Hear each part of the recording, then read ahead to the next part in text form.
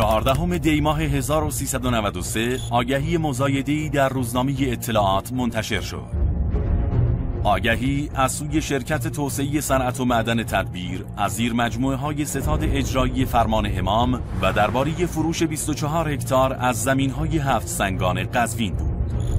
همان روز یک برگ اعلان در مجموعه دادگستری قزوین برای اطلاع کارکنان نصب شد.